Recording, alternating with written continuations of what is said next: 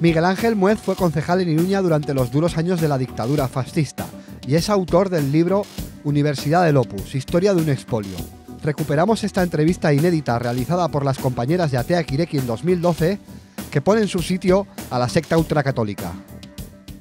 Eh, eh, el Opus eh, no, no tienen precisamente unas, unas posiciones brillantes, individuales y conseguidas por sí mismo, no. Es como una especie de enjambre. Ese enjambre, ¿quién sabe dónde y cuándo está la abeja? Madre, pues no se sabe, ¿no? Ellos quieren tener todos los poderes y ninguna, eh, y, ninguno, ninguna obligación.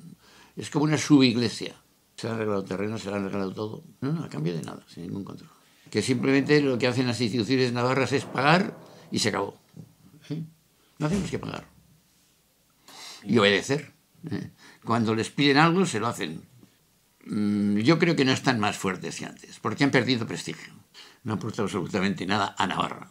A Navarra no aporta nada. A mí lo que me repudre es que te sigan llamando Universidad Navarra.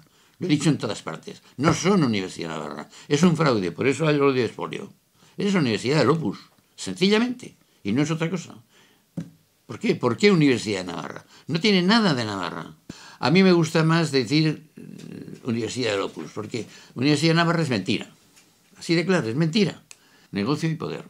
Yo lo veo que es imprescindible que se haga y pronto la Facultad de Medicina.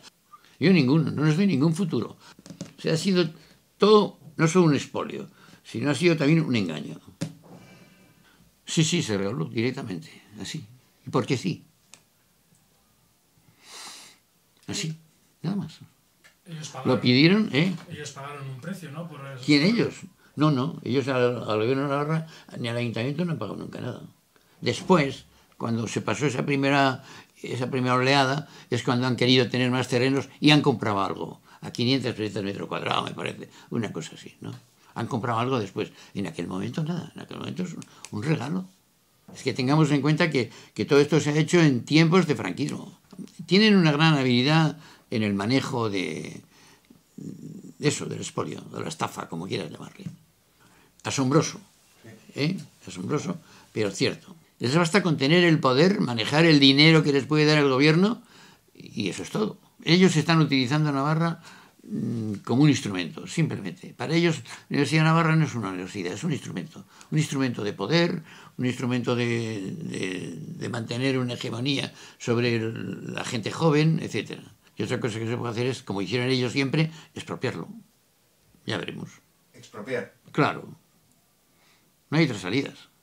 El, tema es que esto, vamos a ver, Franco, o sea, digamos, la época de Franco, los gobernantes franquistas de la época les regalan los terrenos, les construyen los edificios, que ahora están a nombre de empresas privadas. Sí. ¿No hay forma de que eso pueda revertir y que desde un Estado llamémosle democrático, se diga, esto, como fue un expolio de la época franquista, sí. esto vuelve a, patrimonio público. Exactamente, eso es lo que había que hacer. Esa es la mejor salida. No, hay más salidas, ¿eh? ellos no van a ceder nada, ni tampoco se puede hacer con ellos en colaboración, es imposible. La colaboración con Europus es imposible. Entonces, no hay más que la expropiación. Cualquier gobierno de izquierdas de verdad iría a otra expropiación. Parece mentira que sean una universidad. Es una estafa. Está muy ligado al 18 de julio. Las gentes que están con la Universidad de Navarra, casi todos ellos están cerca del 18 de julio. Ao tchau.